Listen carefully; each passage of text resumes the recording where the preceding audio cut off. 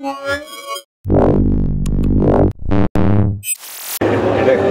Hey guys, Sasha from Mobile Geeks here. We're still at the Sharp booth and we're taking a look at a 6.1 inch IGZO display with a resolution of 2560 by 1600. That means 498 ppi. So um, let's see. Uh, we're only recording in 1080p, but just trust me, the colors are absolutely amazing and the resolution is wow, mind blowing. Um, I'm not sure if they're showing this over here for the very first time, but this might be a display that we can see in, well, could it be in a tablet? 6.1 is just kind of weird form factor, isn't it? Uh, could it be in a phablet, um, like a Galaxy Note in the uh, in the future? Well, uh, of course, Samsung is using its own Super AMOLED uh, displays, but this is just oh my god! Look at look at this.